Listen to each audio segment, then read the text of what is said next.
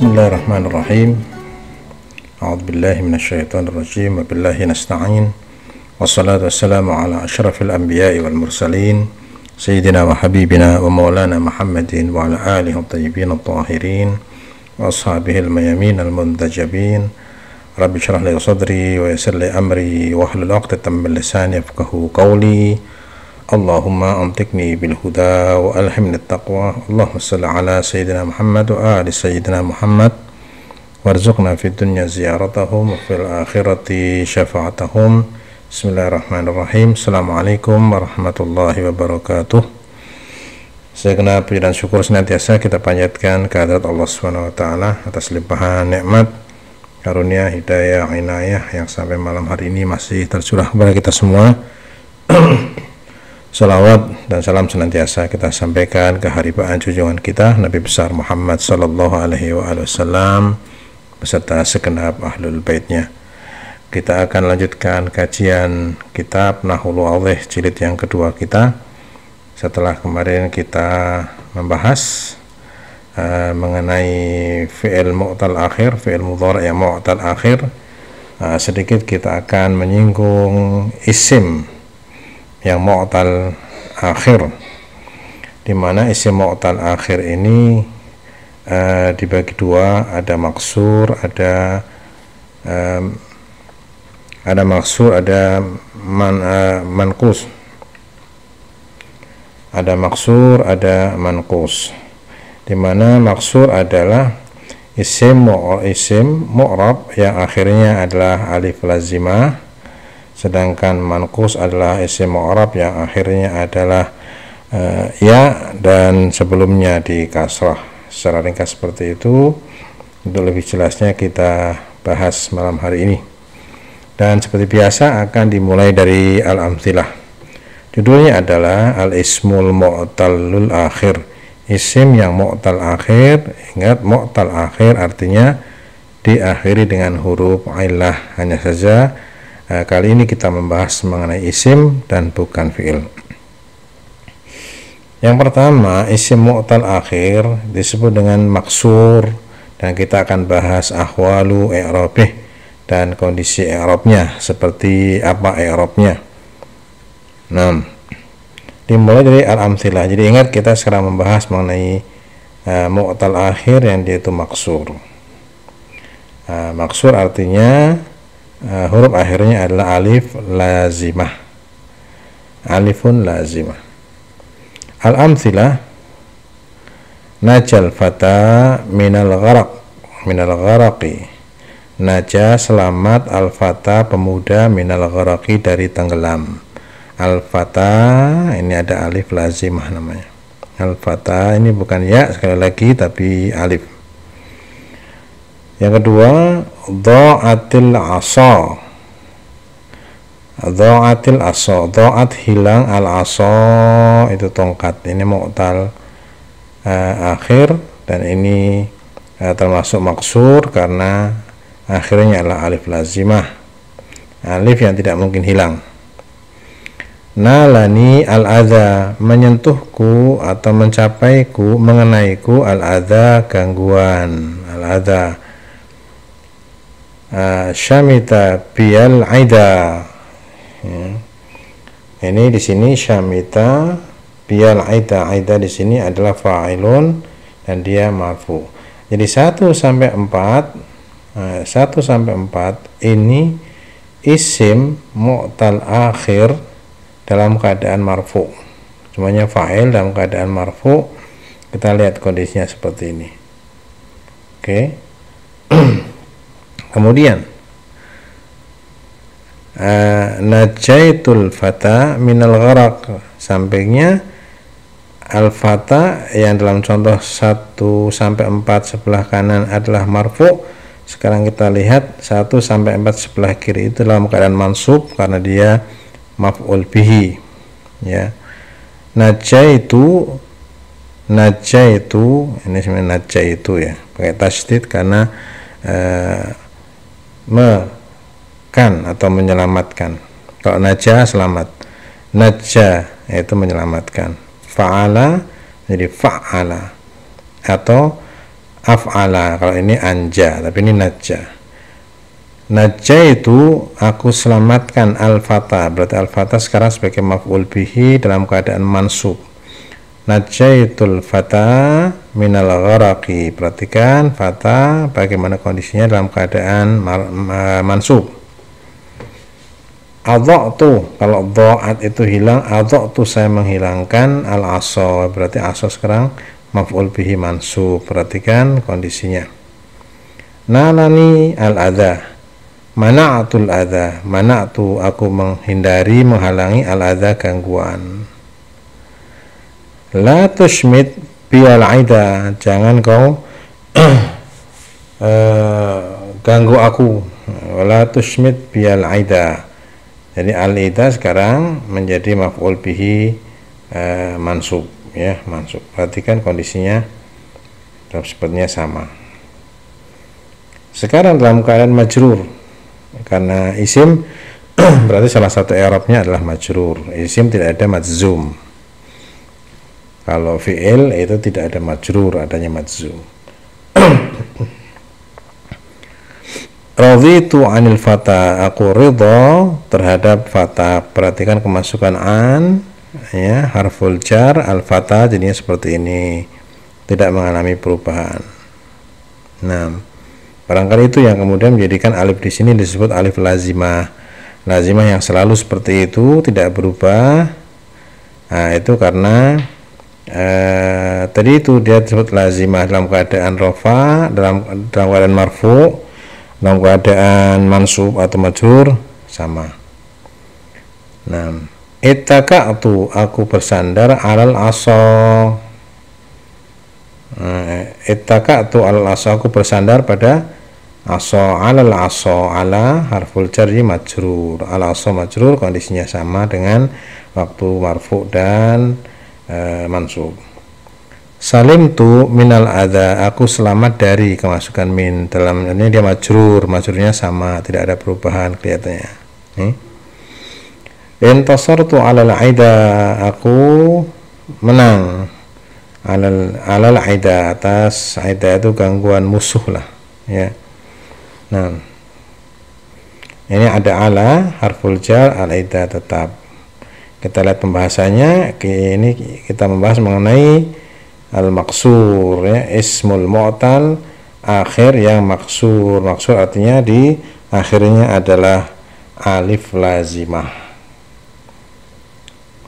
Masuk ke al-bahthu al-kalimatu al-fata wal asa wal adha wal aida fil amthilatil mutaqaddimah kata-kata seperti kalimat seperti al-fata seperti aso al-adha wal aida fil amtilatil mutaqaddimati pada contoh yang tadi yang lalu yang berlalu tadi berlalu kulluha semuanya asmaun mu'rabatun semuanya adalah isim yang mu'rab bukan mabni. Wa fi akhiri kulli minha alifun thabitah. Dan pada akhir setiap kalimat tersebut ada alif thabitah alif yang tetap yang konsisten seperti itu tidak mengalami perubahan dengan perubahan eh, posisi. Hadhil asma nah isim-isim tersebut wa masyabaha dan yang semisalnya mirip dengannya contoh-contoh yang lain maksudnya min kulli ma huwa mu'rabun akhiruhu alif lazimah jadi dan semisal dia dari semua isim mu'rab yang akhirnya adalah alif lazimah maka di situ tusamma semua yang seperti itu dinamakan bil asma'il maksurah dengan isim maksur ya isim maksur adalah isim mu'tal yang akhirnya atau mu'tal akhir yang huruf akhirnya adalah alif lazimah atau alif sabitah alif yang tidak mengalami perubahan Wa idza ta'ammalta hadhihi al-asma wajadtaha fil qismil awal. Wa idza ta'ammalta hadhihi al-asma dan apabila Anda renungkan isim-isim tersebut wajadtaha Anda akan mendapati fil qismil awali pada bagian pertama ya marfu'atan. Dalam keadaan marfu. Yang tadi satu sampai empat yang ini marfu. Oke. Lanjut. Marfu'atan.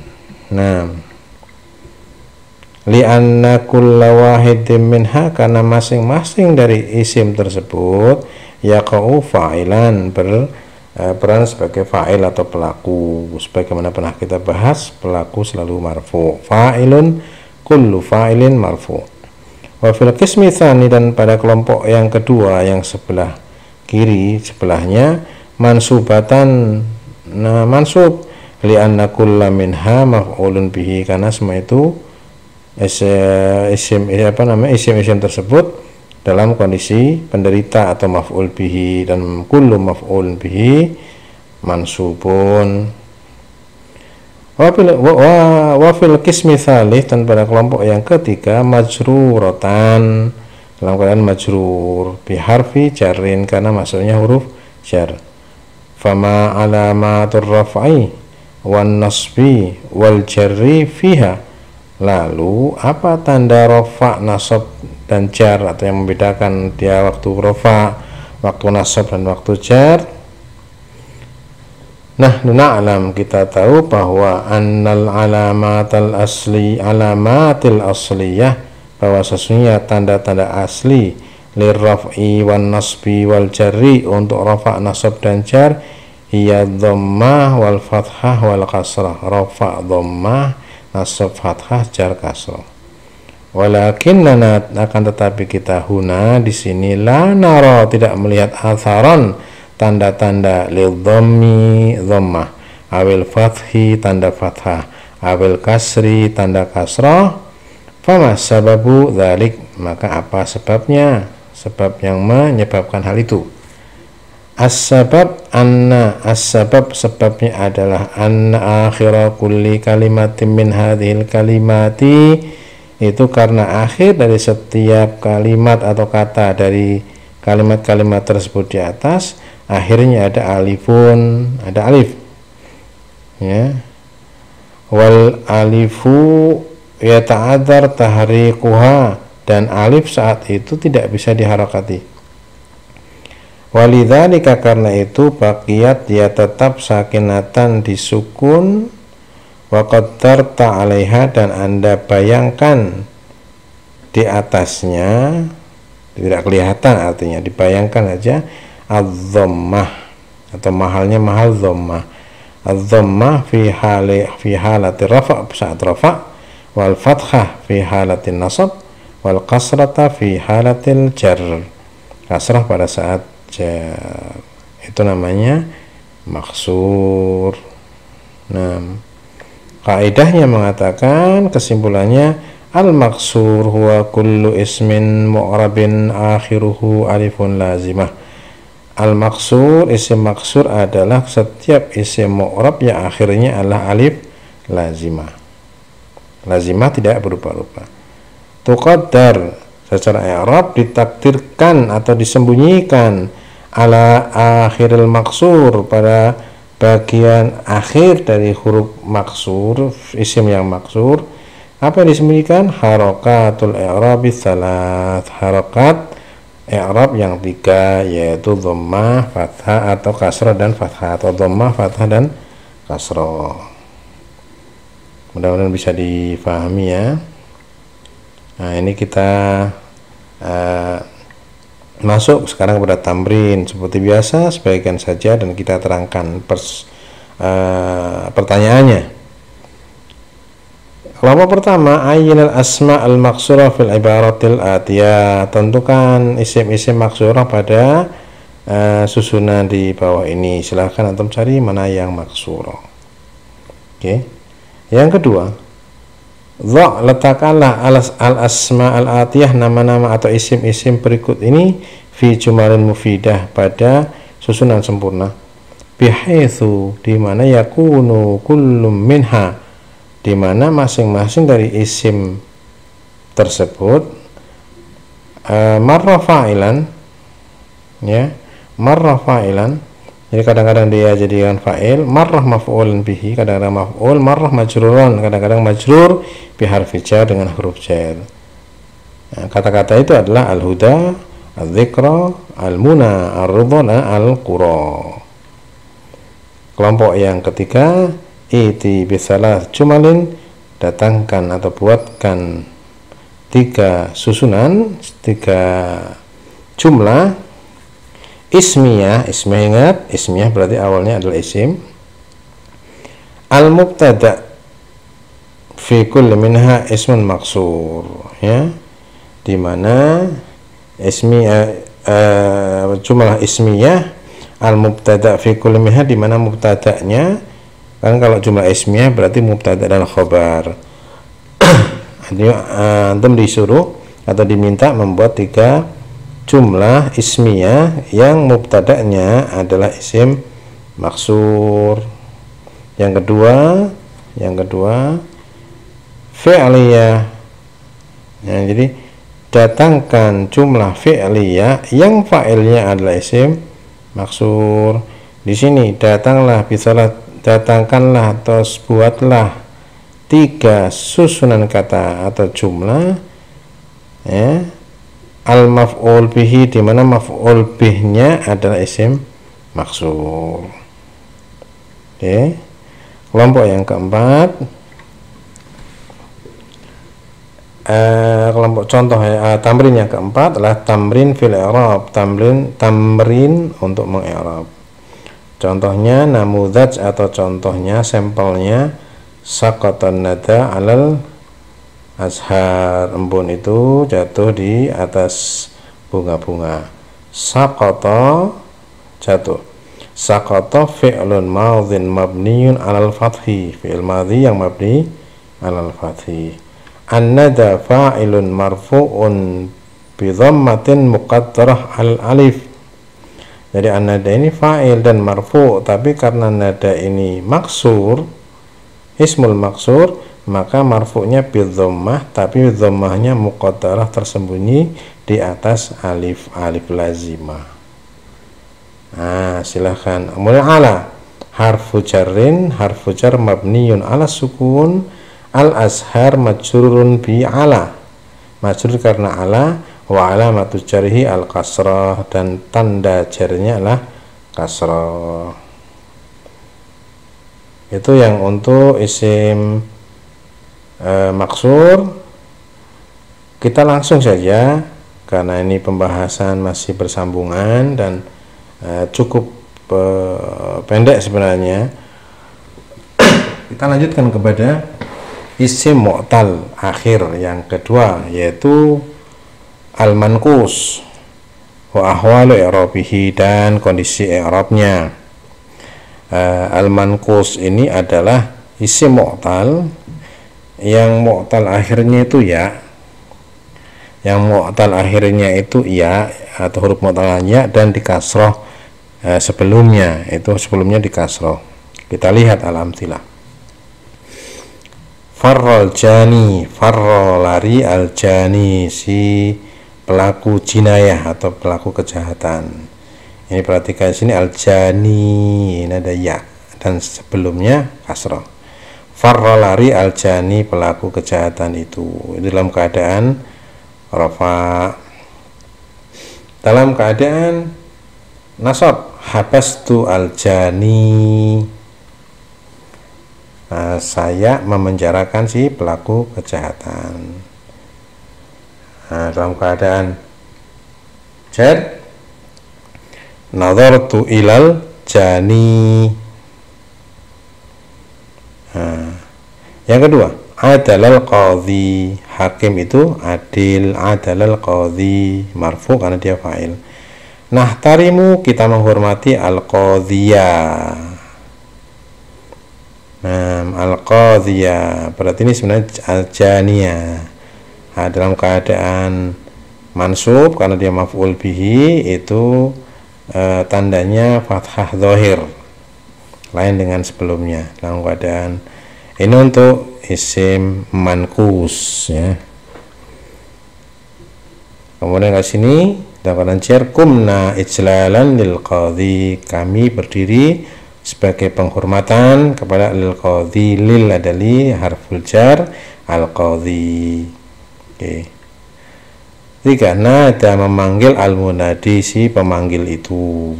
Dalam keadaan marfu munadi Sami'tul munadiya. Saya mendengar al munadiya dalam keadaan mansub dia zahir fatahnya yang keempat nah ini dulu. Uh, itu aku mendengar ilal munadi kepada penyeru atau mendengar si penyeru dalam keadaan majrur. Yang keempat yandamu al baqi yandamu telah men, uh, yam, uh, yandamu menyesal al si uh, pelaku apa namanya uh, bugot lah orang jahat itu ya. Orang yang melampaui batas. Itu menyesal. Yandamu al baghi dalam keadaan marfu. Yang keempat yakrohu annasu tidak suka manusia uh, tidak suka annasu orang-orang al baghi orang yang melampaui batas. Al baghiya karena dia mansub. Oke. okay di sini majrurnya alal bagi tadurut dawair. Alal bagi eh, atas orang yang al bagi tadurut dawair telah berlaku eh, apa namanya hukuman bagi dia. Di sini al bagi al bagi majrur. Perhatikan, saya kira kita bisa melihat ya, secara lahir ya, secara jelas ada perbedaan antara uh, ismul mankus dalam keadaan marfu ini dalam maksudnya dalam konteks ahwal i'rabnya ya kondisi i'rabnya. Ada yang marfu marfu itu nanti tidak kelihatan tanda rofaknya tidak zahir muqaddara. Dalam keadaan mansub zahir eh, tanda mansubnya atau tanda nasabnya.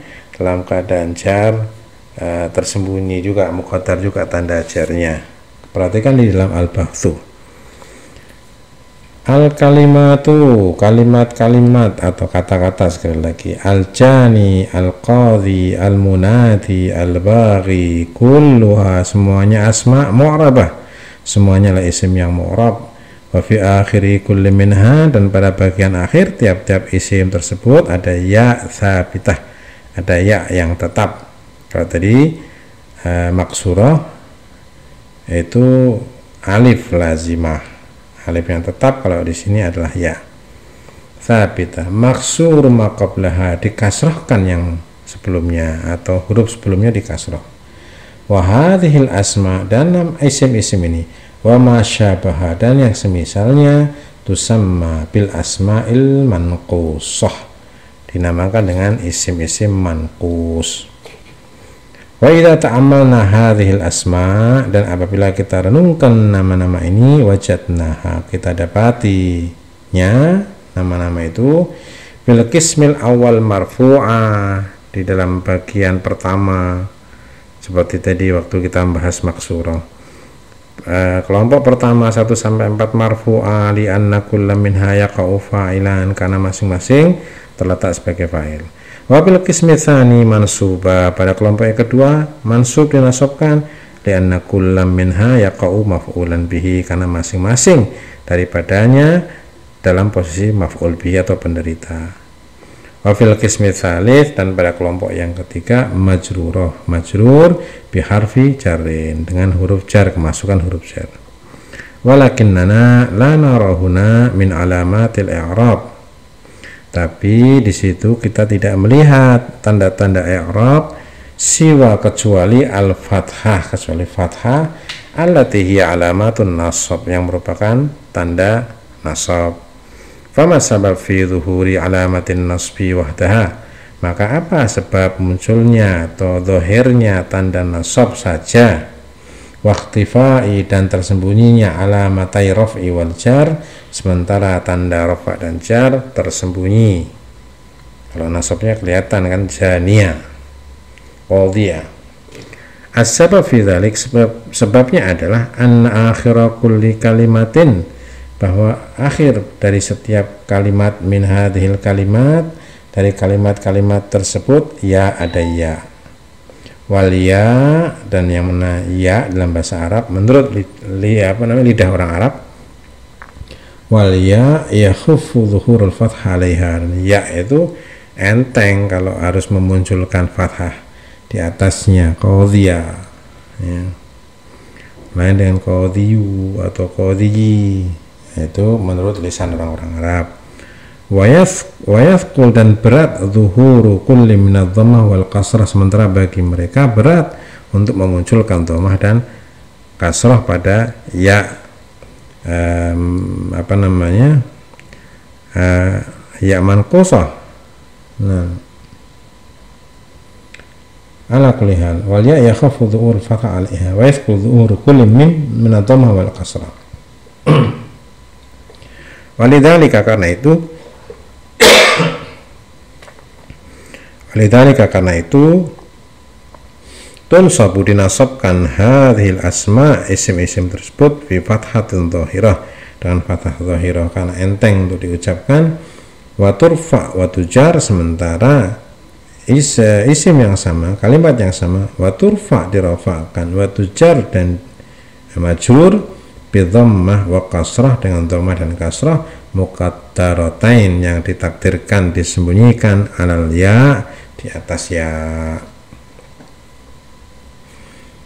Maka sampai kita pada kaidah al manqusu manqus atau isim manqus adalah huwa kullu ismin mu'rabin. Adalah setiap isim mu'rab akhiruhu ya'un lazimah. Yang akhirnya adalah ya lazimah.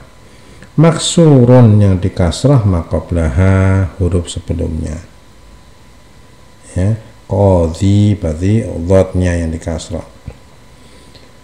Kemudian kaidah berikutnya tuqaddar adh-dhammah wal kasratu tuqaddaru dhammatu wal kasratu ala akhiril manqusi. Ditakdirkan disembunyikan dhammah dan kasrah pada akhir dari isim manqus. Fi halatir raf'i wal jar dalam kondisi rafa dan jar. Aman nasab amman nasbu ada dalam keadaan nasab fayakunu maka ia bi fathatin zahiratin dengan fathah yang zahir yang kelihatan ala alal akhir pada huruf akhir dari setiap isim tersebut. Semoga bisa difahami di sini untuk tamrin sama hampir sama dengan yang maksur Kelompok pertama ayin al asma al manqusah fil ibarat al atiyah tentukan mana yang mankus isim mankus pada uh, beberapa susunan di bawah ini. Kelompok yang kedua Dha al asma al atiyah letakkanlah isim-isim berikut fi jumal mufidah pada jumlah sempurna bihaitsu di mana yakunu kullu minha marra fa'ilan. Antum seperti tadi. Antum ini buatlah satu jumlah mufidah dengan nama dengan as, dengan isim-isim di bawah ini. Tapi ini diselang-seling ya selang-seling dalam artian ada yang fa'il kadang antum buat maf'ul pada kesempatan yang lain dan seterusnya. Kemudian yang ketiga kawin salah jumal ismiyah bentuklah tiga susunan ismiyah yang diawali masing-masing dengan isim mankus tiga jumlah fi'liyah yang fa'ilnya isim mankus uh, tiga jumlah uh, apa namanya ismiyah juga yang maf'ul bihinya adalah isim mankus tiga juga susunan khabar kana. Ingat kita pernah mempelajari kana wa akhwatuha. Khabar kana uh, masing-masing dengan isim mankus silahkan di uh, coba dilatih di rumah masing-masing Hat datangkan berikan tunjukkan isman mankusan isim mankus min kulli fi'lin minal af'al atiyah. Dari setiap fi'il dari kumpulan fi'il-fi'il di bawah ini. Thumma dha'hu kemudian letakkanlah ia fi jumlatin mufidah di sini ada sa'a ada syafa ada radhi radhiya ada hada. Itu mana yang mankus tamrin fil i'rab latihan i'rab Namudah contohnya sampelnya ar-rajul qasi makruhun. Laki-laki yang keras hati itu tidak disukai. Ar-rajulu marfu'un bi dhammah. Ar-rajulu. Al-qasiyah na'tun. Atau sifat. Na'tun marfu'un bi dhammatin muqaddarah 'alal ya. Oh qasi maaf. Ini dalam keadaan rafa ya maaf. Tadi saya salah qasiyah bukan qasiyah tapi qasi ar-rajulul qasi karena dalam keadaan marfu. Al qasi na'tun marfu'un na'at marfu dia marfu karena na'at pada rajul. Na'tun marfu'un bi dhammatin muqaddaratin 'alal ya. Nah dhammah yang tersembunyi di atas ya. Seakan-akan kita mengatakan ar-rajulul qasiyu. Makruhun khabar khabarul mubtada. Makruh khabarnya ar-rajul khabarul mubtada marfu'un bil dhammah marfu dengan dhammah dan demikian seterusnya. Walhamdulillahirabbil alamin. Mudah-mudahan memberikan manfaat. Walhamdulillahirabbil alamin. Astagfirullahalazim wassalamualaikum warahmatullahi wabarakatuh